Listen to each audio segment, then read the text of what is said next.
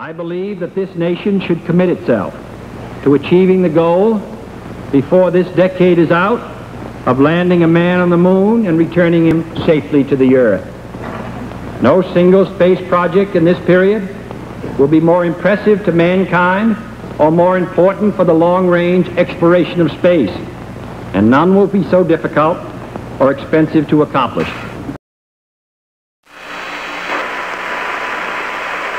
It's one small step for man,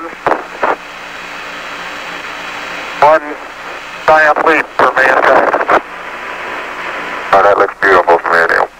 It has a stark beauty all its own. It's uh, like much of the high desert of uh, the United States. It's uh, different, but it's very pretty out here. Every precious minute of their two and a half hours on the surface was programmed.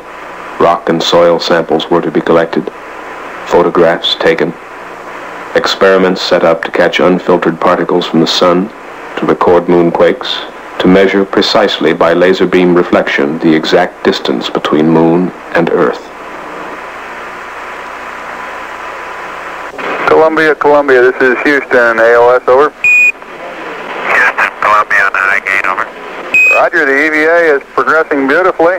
They're setting up the flag now. I guess you're about the only person around that doesn't have TV coverage of the scene.